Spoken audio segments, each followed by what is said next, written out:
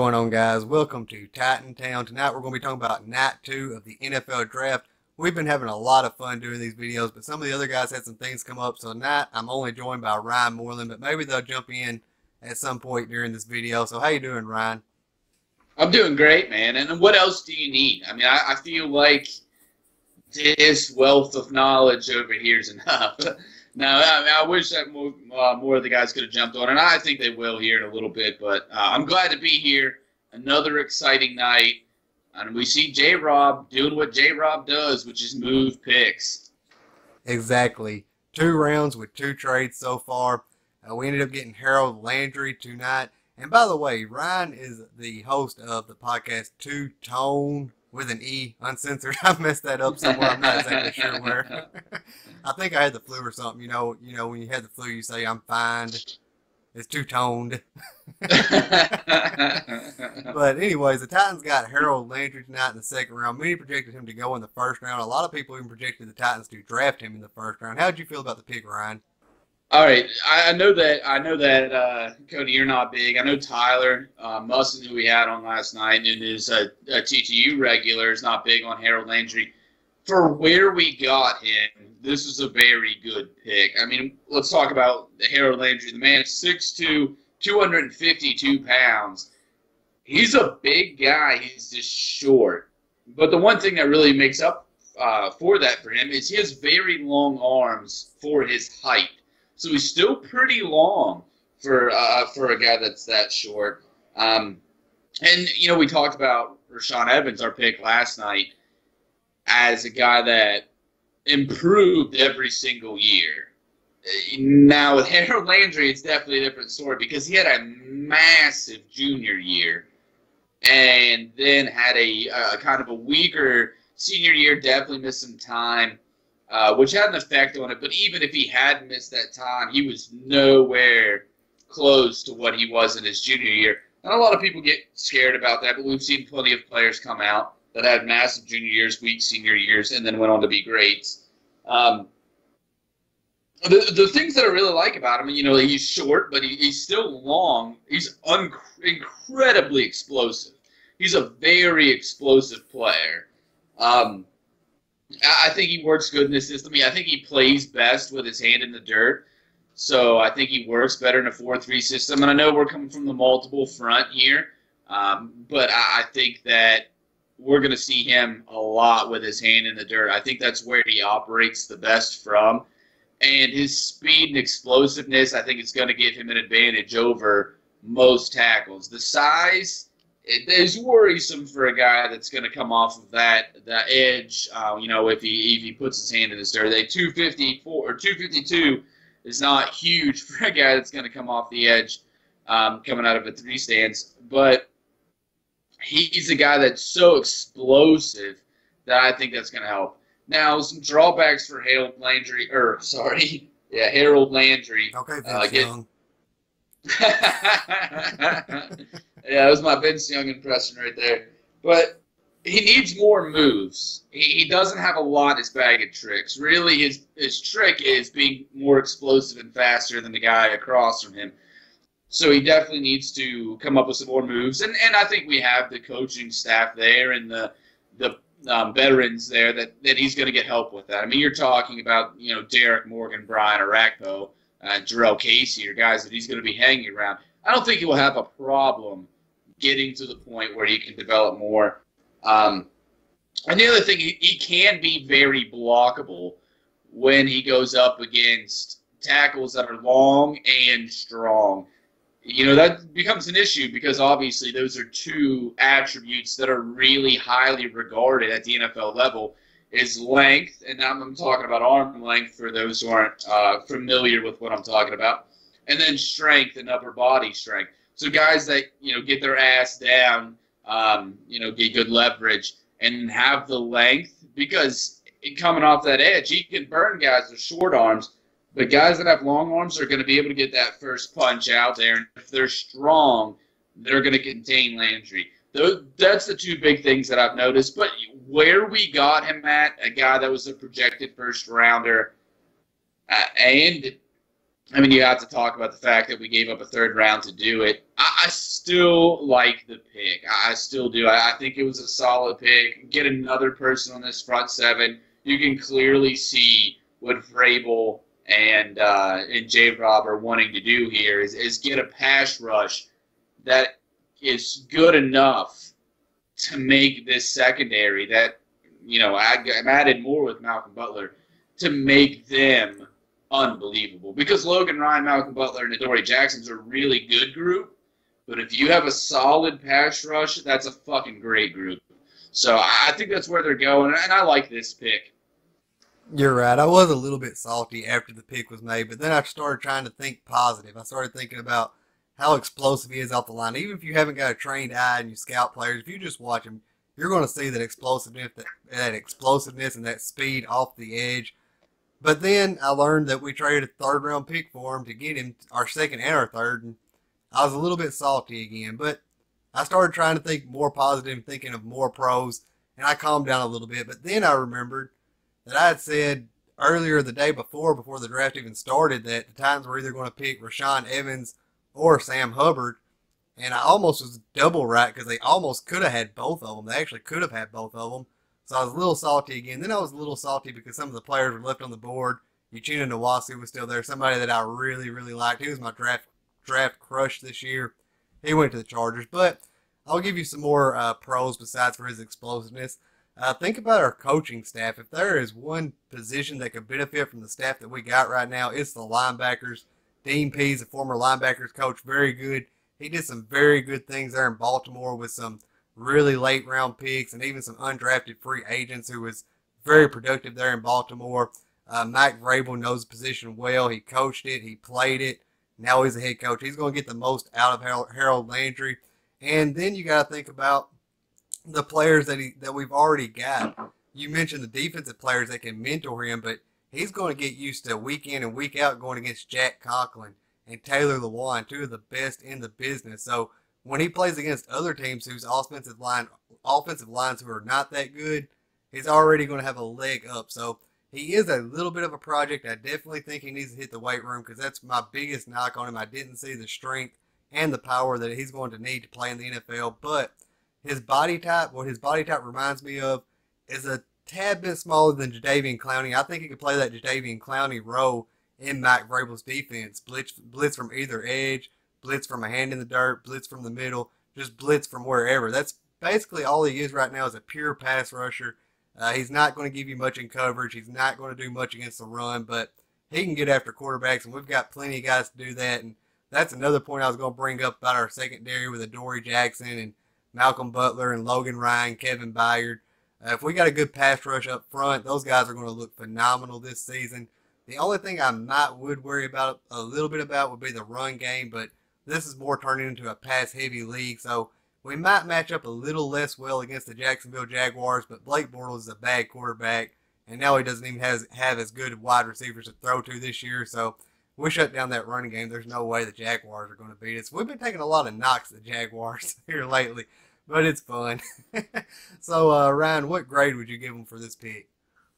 Well, first, I would uh, say to the Jaguars that, you know, sweep. Um, and another point that you brought up there, uh, you know, you're going out against Taylor Lewan and Jack Conklin, but then when you get in the backfield, you have one of the fastest quarterbacks in the NFL that can not only hurt you with his legs, but has that great point guard mentality where he can go out to the edge and then like just drop one right over your head. So you have to contend with Marcus Mariota, uh, which is another great point. Uh, for my grade, I'm going to give it a, a, B plus, which is what I gave Rashaan Evans. But we'll talk in a minute. I upped my grade uh, for Rashaan Evans. Um, you know, in the time since last night's show and, and tonight, we'll talk about that a little bit. But I, I think it's a B plus. This is a guy that had a first round grade on him. He has some development to uh, to accomplish, but you're getting a guy with a very high ceiling, great burst, great speed. I think he's stronger than people think he is.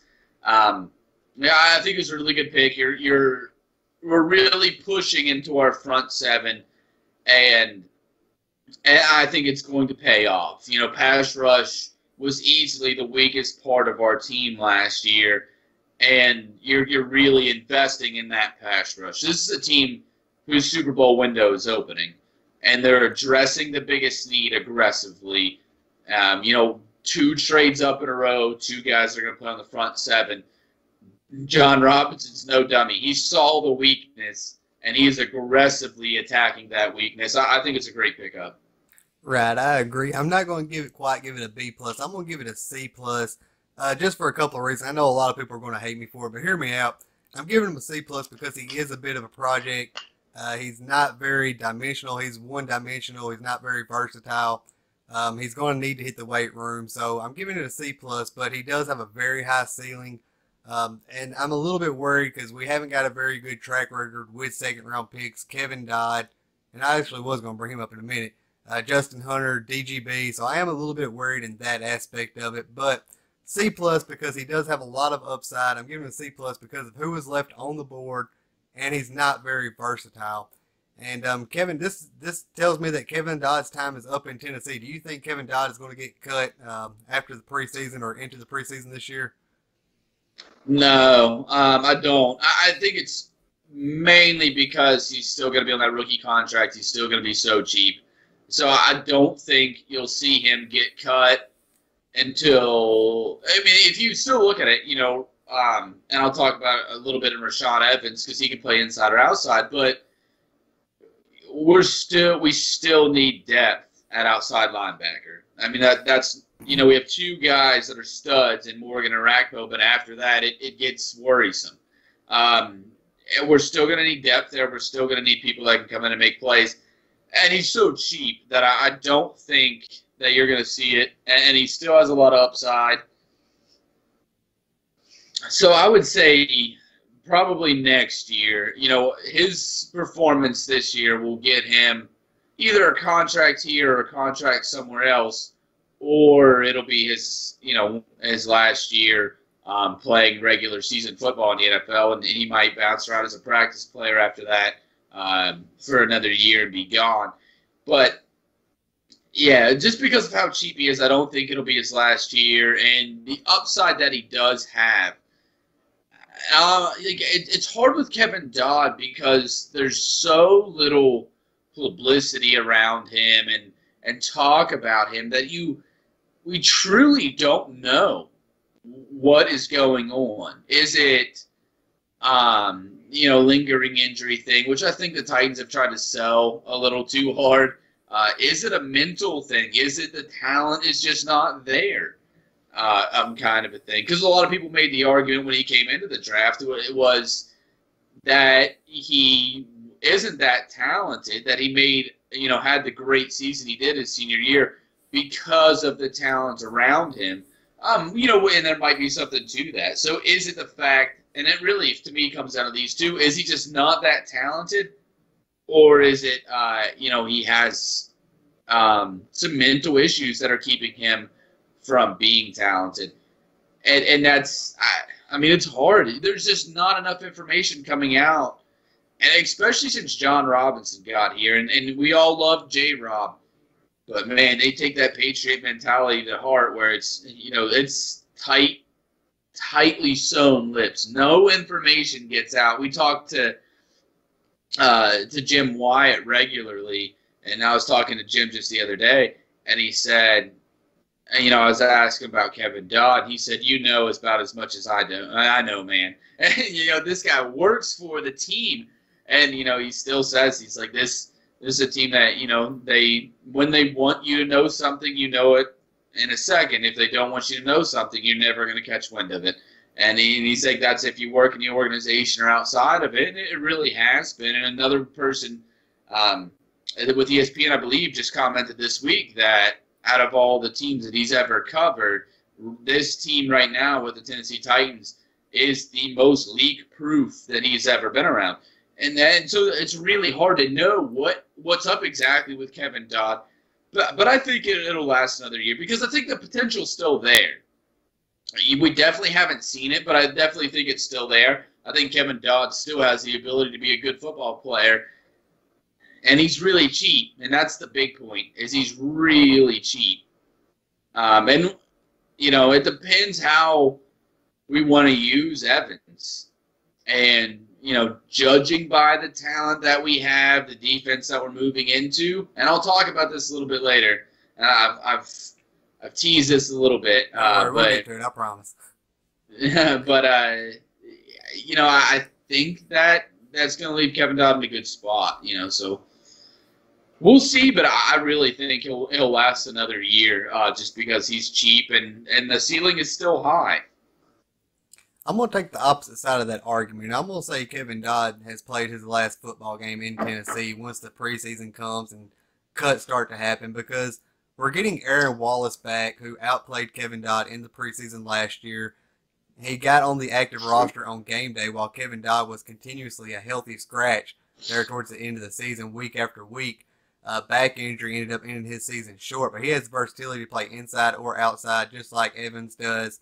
And not only that, Josh Carraway outplayed Evan or outplayed Dodd as well as a seventh round pick. And two seventh round picks, they're going to be cheaper than a second round pick. So Carraway and Wallace are both cheaper than what Kevin Dodd is, and they both outplayed him last season. I just don't think, unless this new scheme that Mike Vrabel is going to bring in really plays to Kevin Dodd's strength, I don't see him making the team.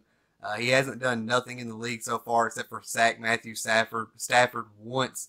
So he hasn't really done anything. I just don't know if he's not catching up on game speed, if the scheme that we was running just wasn't working for him, because he only had one productive year there at Clemson, and he played with his hand in the dirt that year, and we tried to force him to stand up. So maybe he's just not catching on as on as quickly as he should, but I just don't see him making the team. So um, talking about Evans, you had some new news. You discovered something new about him, or you got a new opinion. You changed your mind. Tell us what it is. Let us let us know. All right. Well, first I want to start off by talking about uh, what you were saying about Aaron Wallace. Um, the thing with Aaron Wallace is Aaron Wallace excels in coverage as an outside linebacker, but he is not a guy that is great at at pressure, and then he's not a guy that's going to excel in the pass rush, which is really what you want out of an outside linebacker in a three-four system. Um, you know, now we're heading to a multiple front. I think you're going to see a lot of different looks. So that definitely, you know, it's still up in the air, and we're not exactly sure how that's going to look. But this brings me to the, the point that you were asking me about, about Rashaan Evans. We're heading to this multiple front. I think you're going to see a push towards a 4 3. Uh, but it's not going to be a 4 3. Uh, but I think you're going to see more of a push towards that 4 3. And I've said it before on, on Two Tone Uncensored, and you know this, Cody. The difference between a 4 3 and a 3 4 in the NFL at this point is very small. If you run a 4 3, there are 3 4 sets that you run, and vice versa. You constantly change up your defense. Most teams run what would be considered five years ago as a multiple front it's ever changing. You're trying to get in front of the offense. You're trying to confuse the offense enough that you can succeed because offenses are so it's you know the rules are in their favor. Um, players are getting better, bigger, more athletic, faster. You have to do something. You know the the players get better. And not only that, but the rules keep siding with the offense. And as a as a guy that played defense, that fucking sucks. but but you keep seeing it over and over again. Um, so here's my point with Rashaan Evans. When I went back and I was thinking about it, is his versatility obviously adds uh, another dimension to it. Um, you know, anybody who's versatile, it adds another dimension to what they can do for your team. But his specific versatility, where you know it's hard to label him as an inside or an outside linebacker. And you saw last night with me and Tyler, if you go back, I think of him more as an outside linebacker, where Tyler thinks of him more as an inside linebacker. And I think that's a lot because of Tyler's thinking more about the need, what we need, which is more of an inside linebacker if we're sticking to a 3 4 system. And I'm thinking more about where he fits. So I'm thinking about systems, and, and then this popped into my mind is you have, let's say, a, a and Morgan, um, and then you have Evans out there in the field, and then you also uh, you also bring out. Uh, so, so, you think about a defensive scheme where we have uh, Orakpo and Morgan on the outside. You have Woodyard and uh, and Evans on the inside, this could be a situation and where in which that you put one of those guys on the line, you know, Rakpo or Morgan. You take a defensive lineman out of the play. You add another safety. That's definitely in the realm of, cap- of capabilities. Now you keep like a standard set with those four, three, you know, down defensive linemen, uh, and two guys up up top. You know, that's definitely something that you could do. Drop, uh, let's say Derrick Morgan, out of it. Add another defensive lineman into the situation. Also in the realm of possibilities, this multiple front. In order to have a multiple front, a true multiple front, and have success you need that player that can do a lot for you. And that pivotal guy, that guy that you can pivot off of. Rashaan Evans is that guy. So not only did we get a guy that I think is very talented, that can do a lot, I think he's the guy, the cornerstone to this defense working.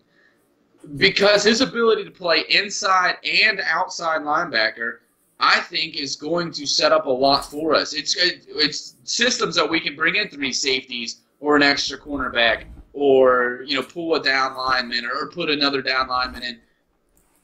He's going to be the pivot player. We're going to be able to do that because we're going to have faith that he can play on the inside and the outside. If you don't have uh, that ability, if you don't have a guy that has that ability, then you really can't truly play that multiple front. So the more I thought about it last night, and I, and I really, you can go through my notebook right now. I, I drew up schemes, and I kept drawing up up last night. I'm, I'm, I'm hoping I get a call here from Dan Pees in a little bit. That's our Dean Pees from a little bit, and be like, you know, hey Ryan, what are you looking at? Because I drew them up last night. Uh, just schemes of how you could line up realistically in the NFL when you have a guy like Evans, and then I drew them how you would line up if you didn't have Evans on the same roster. And I, I, think there's a vast difference. I think Evans not only is a talented player, but I think he opens up our playbook, it, like probably times three on on the defensive side of the football. The way that we can line up has at least doubled, and I think tripled because of what he brings and the versatility that he brings at, at that inside outside linebacker position. Right. I've noticed a lot of five uh, five set five down defensive linemen in Houston scheme. They'll come out with two defensive tackles and then have J.J. Watt, Whitney Mercilus, and Davian Clowney across the line. I really like that scheme. They'll come in with a single high safety, have the second safety come down and play in the box. I like that scheme, and I hope to see it because uh, not only do we have the pass rushers to do it now, but Norris seriously, not Norris seriously, Jonathan Cyprien He's more of a run stuffing safety. He, you don't want him in coverage. Put Kevin Byard back there. Let him run sideline to sideline. I've also noticed the Baltimore Ravens run that scheme a lot. We got both of their defensive coordinators on our coaching staff now, so I'm hoping to see some more of that from our Titans. So back onto the Harold Landry topic. This is where we originally started. We kind of got a little bit sidetracked. Now there are some people saying that Harold Landry is going to be a 10 6 10 sack guy right out of the gate. Do you believe he's going to be a 10 sack guy right out of the gate, Ryan? No, I don't. Um, and not not that I don't think he's talented enough, and I, and I won't say that because I do. I do think that he is talented enough to be a 10 sack guy. Uh, but when you look at this defense and where it's at right now, I mean, you're talking about Orakpo and Morgan, uh, Jurrell Casey, Evans now, who I think will play inside and outside, like we just talked about. Um, and, and then I think Landry would come after that, and then right after him, you could you could start talking about Searcy, who was a guy that was a weapon in the pass rush quite a few times last year. Adoree Jackson, with his speed, also a weapon in the pass rush whenever we use him. If Harold Landry gets ten sacks it's, uh, next year, it's one of two situations. Harold Landry is J.J. Watt, and we didn't know it. you know, he's he's just a premium uh, defensive end, and, and nobody caught it but us. Or we have like four guys, five guys on our roster that have 10 sacks. Now, I, as much as we would love that, to have a team that gets close to 80 sacks, uh, you know, it, it's not going to happen. That's not that's not realistic. I, I, I think that a realistic number for, for Landry, given who we have left, you know, that we brought over from last year and the talent that we have, I think a realistic number and a good number is four and a half. And, and yeah, that's given the fact that Landry's not going to start. Landry's not going to be a guy that starts very often this year. You know, unless there's a major injury, Landry in his first year is going to be a rotational player. Um, and, you know, that's a good thing for us. It, it, just shows you the depth that we have there at the pass rush. And, and this just gives us another guy. Um, uh, you know, Orakpo and Morgan, excellent pass rushers. And I don't. I think that Landry best fits with his hand in the dirt. So I do think he'll get some time standing up and um, and coming off of the edge.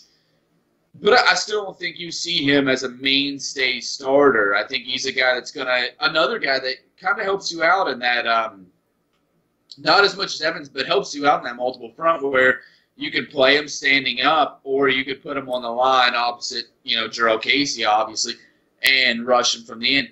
So it's I think picking guys purposely that not only are on the front seven but help us with this multiple front with that versatility. But I, I don't think he's a guy that's going to start. He, he'll start maybe a few games, but he's not going to play enough downs to realistically be a 10 sack guy.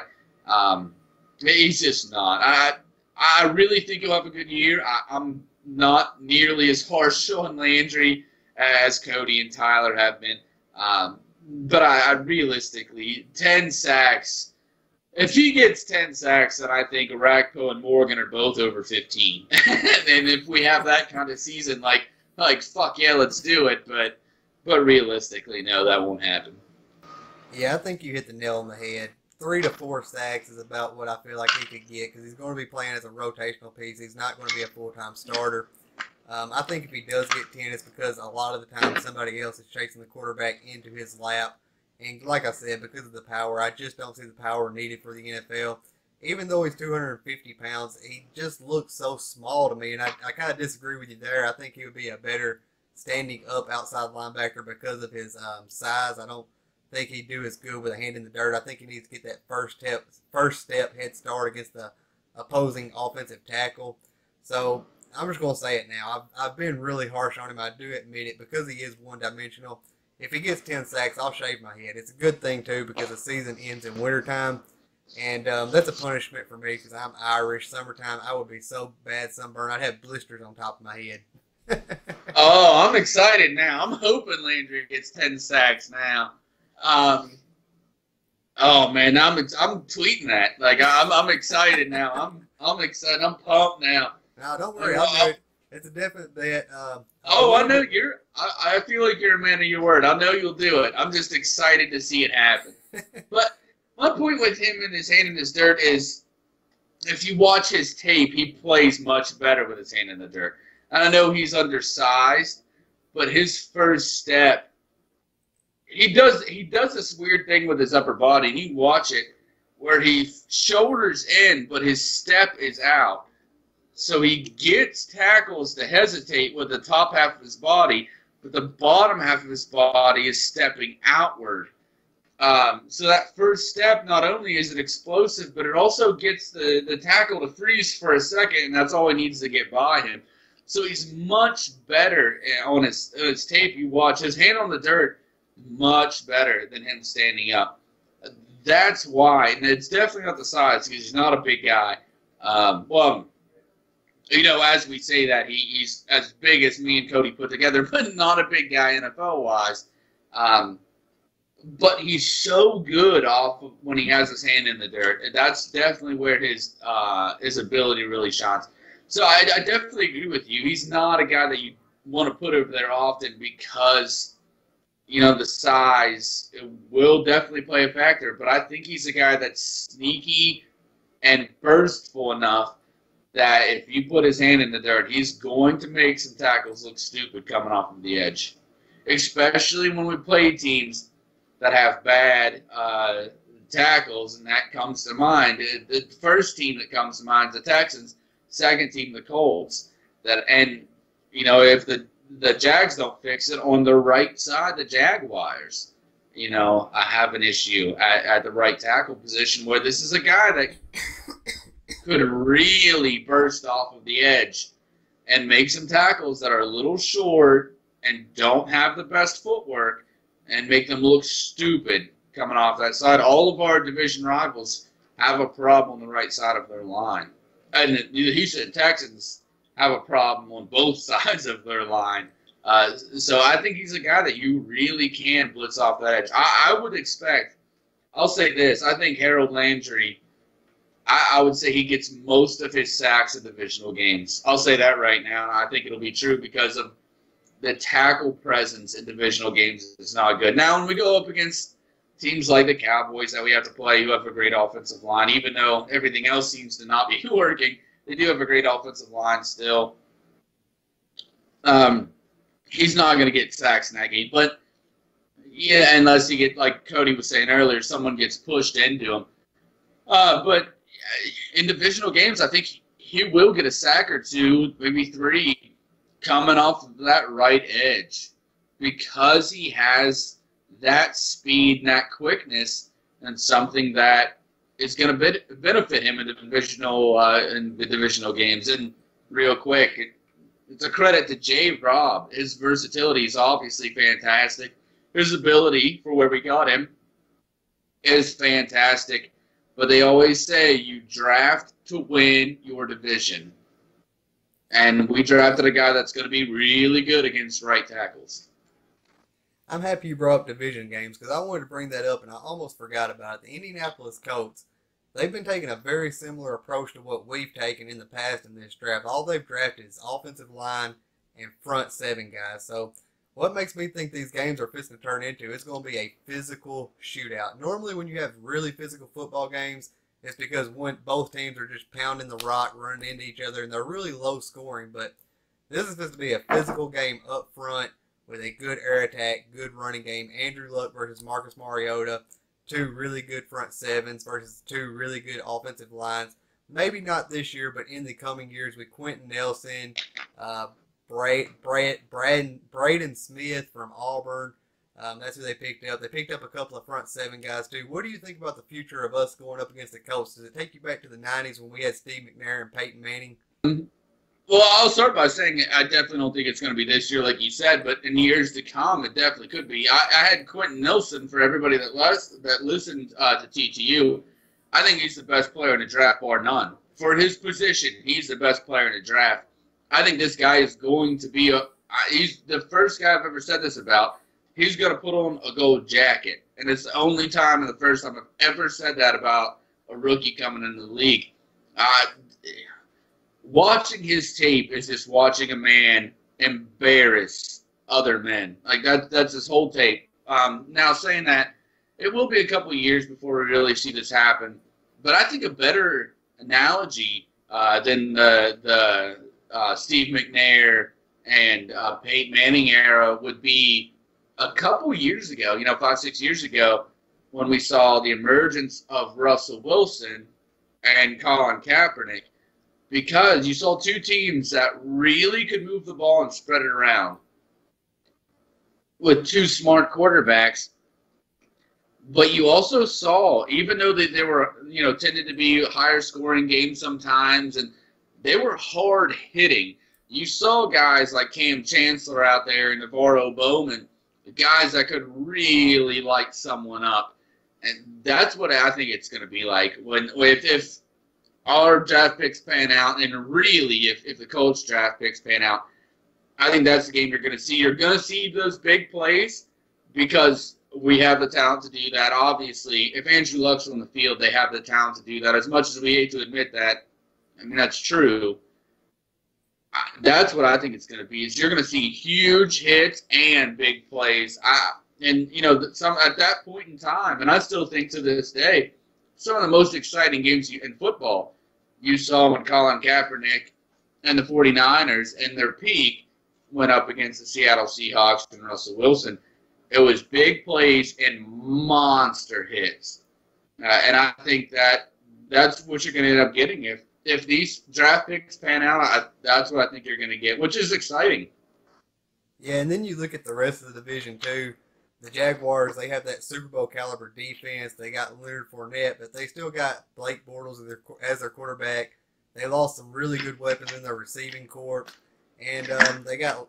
Did I mention Leonard Fournette? I think I did. They got Leonard Fournette as a running back. Their offensive line, they need to work on that. They need to get a new quarterback and some new receiving corps, but that defense is really good. Then you look at the Houston Texans. They got Deshaun Watson with all of his weapons. On the other side of the ball, they got J.J. Watt, Whitney Mercilus, Jadeveon Clowney, uh, Zach Cunningham. Can't remember the other guy's name right off the top of my head. And they're addressing that secondary. They drafted Justin Reid tonight. Um, they got a very physical defense and a high-powered offense. So uh, these division games, they're going to be really fun to watch, I think. The Houston Texans and the Jacksonville Jaguars, I still think they have some stuff to clean up, as well as the Indianapolis Colts. But here in the future, this could be a division that's up for grabs and has four Super Bowl contenders right there in the one division together. Here, I'll say this right now. Hold on, I, am like Ian Rapoport over here. Like the, I said it last night. Like the poor drunk man's Ian Rapoport. Everybody's texting me right now about the draft. I, I think this is a, a truth. I think the Colts in the next two seasons past the, the Texans, I think the Texans will be the basement of the league, uh, at least for a year or two, and the next couple of years. Deshaun Watson had an impressive showing um, early in his career. He threw a lot of interceptions early in his career. I think teams are going to figure out where he likes to throw and what he likes to do, and he's going to adapt from there. He's not a guy that's really known well for adapting. He's not a guy that's a, a smart quarterback. Um, and he, you know, not saying he was in college, but at the NFL level, he's not a guy that you would consider a smart quarterback. He's going to struggle. The Colts are trying to, are finally figuring out how to draft, which helps them out a lot. But they're also figuring out how to manage value. I, I think the Colts maybe not this year, uh, but the year following, will jump Houston. And I think obviously the Jaguars are, you know, the team that are is going to compete with the Tennessee Titans for the title for the next few years. The thing is, is I, if I'm Jacksonville, I don't draft the defensive player at all. And they did. I, they took Taven Bryan in round one. Right in the first round. I, I don't touch a defensive player unless it's too good to pass up, and like let's not pretend. Taven, sorry, Taven Bryan's a great player, but let's not pretend that, and with a very high ceiling, I might add. But let's not pretend that he was the best player on the board. Like he wasn't. You know, you're talking about so many receivers were on the board at this point. Why don't you go after one of those receivers? Why, like, when a team that's so needy at that position, why don't you do that? why don't you try to bring in a guy that's going to compete with Blake Bortles? After how bad he's been, why don't you do that? That doesn't make any sense to me. This is a, the best defense in the league last year. And I understand that you still need a draft to keep it the best defense in the league. You know, we saw what happened to the Broncos when they kept trying to plug guys into the offense and they ignored the defense, and look what happened. But you have to get guys. Your Super Bowl window is opening. You have to get guys that are going to get you there, and they don't. They don't have it on offense. The Titans swept them last year. I think the Titans will sweep them this year again. All right, yeah, I think Taven Bryan could have started in a lot of defenses, but he won't start there on the Jacksonville Jaguars defense. And as far as um, Deshaun Watson goes, I know a lot of people don't want to hear this, but he is a scrambling quarterback, and a lot of scrambling quarterbacks have trouble staying healthy. And so far, he hasn't done that. And a lot of times, you're never the same after an ACL injury. So um, let's go ahead and talk about the future of the draft. It's almost over. We got rounds four through seven coming tomorrow. Currently, the Titans have a fifth round pick and two sixth round picks left. What positions do you think they should address with those picks? And is there a certain player you think they should target in the remaining rounds?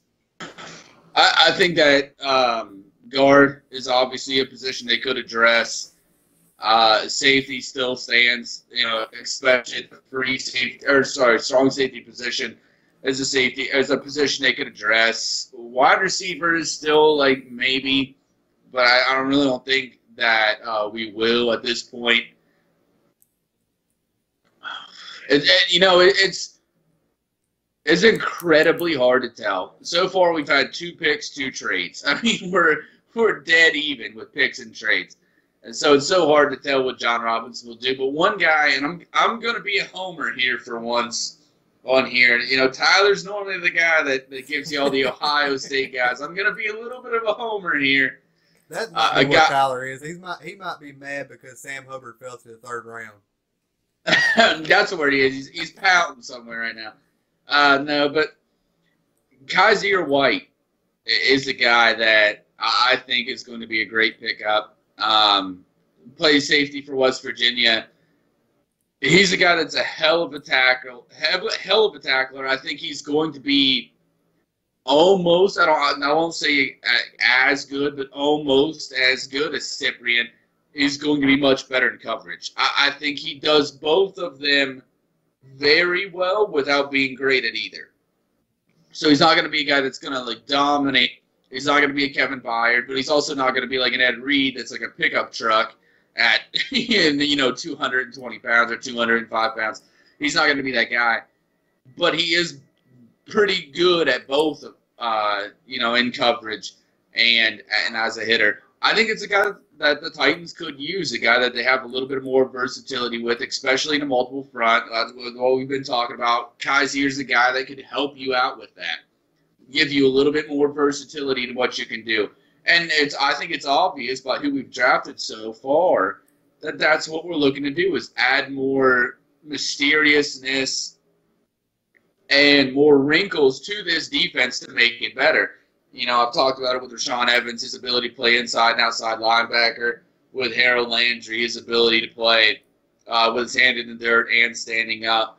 Kyzir's the guy that's going to add another wrinkle where he can, he's good enough in coverage where he's not a liability, and he's good enough in the box that he's not a li- not a liability. Because right now we have Cyprien, who's fantastic in the box. He's a great tackler.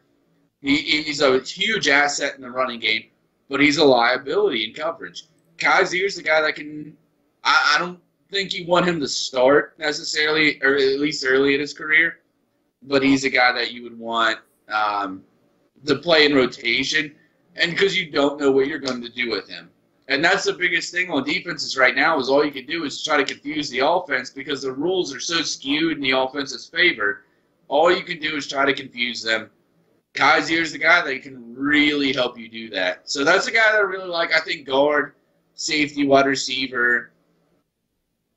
Um, definitely defensive tackle and, and nose tackle are positions that we could definitely add some depth to. Depth to. I still don't think outside linebackers out of the question as well. Yeah, I think you hit the, note, the nail on the head there, talking about safeties and wide receivers. In the press conference after the Harold Landry pick was made, they talked to Jon Robinson and Mike Vrabel about the trade and how few picks we have left, only having a fifth and a sixth round left. And Jon Robinson responded with, they were specifically asked about depth at the safety and wide receiver position because we don't have a lot. And he said he felt like there was players that are going to be here later in the draft that he could pick up. And I'm going to quote Carlton Davis from Madden. I play Madden. Uh, Carlton Davis is actually one of the commentators tonight on NFL Network where I'm watching the draft. And he says on Madden that speed kills and he can do it in a number of different ways. And there's this old draft strategy that goes way back. I don't know how far back, but you pick your stars in the first round, you pick your roster in the second and mid rounds, and then at the end of the draft, you find speedy guys who can get to the ball quickly, who can make a lot of big plays for you. And wide receiver and the safety position are two positions that really use speed. As for a specific name, uh, I'll throw ahead. I'll go ahead and throw out Deebo Samuel from South Carolina. He's a possession receiver with some speed. He's got some deceptionness with his routes. He's very deceptive.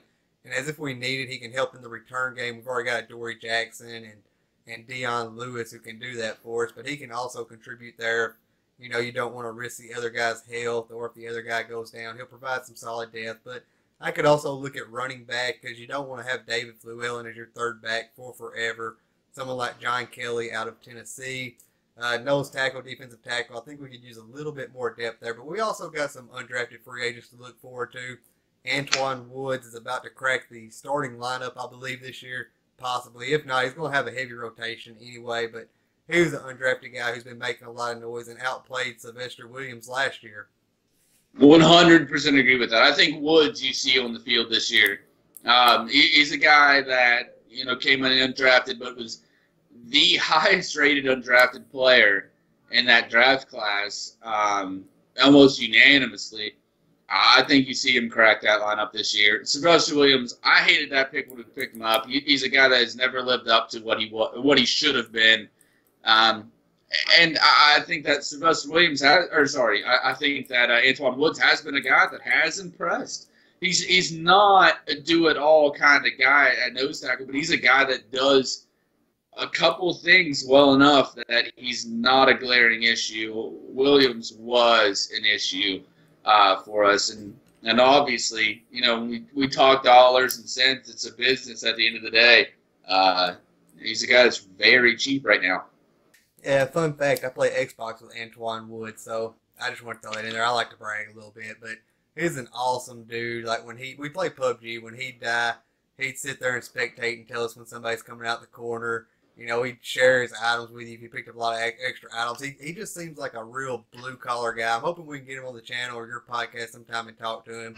Right now is a little bit of a bad time with the season just picking up, so I haven't talked to him in probably two or three weeks now. So hopefully I'll get to talk to him soon. I seen Taylor got his picture taken with him. He was there at the uh, Nissan Stadium draft party that Justin was at last night as well.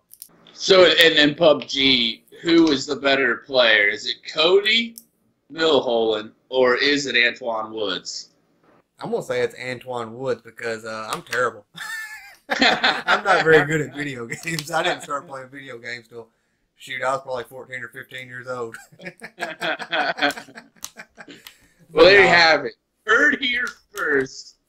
Antwaun Woods, better at video games than Cody Milholen. All right, guys. In the description box below, you'll find links to find Ryan's podcast, his Facebook page, his Twitter, all that good stuff. Check him out. A lot of good content on his channel and his podcast, whatever you want to call it.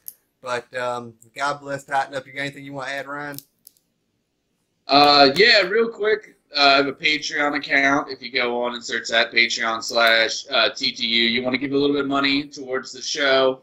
Uh, we're doing that, and then a new sponsor that I'd like to pimp, if that's okay, Tyler. And I'm drinking it tonight.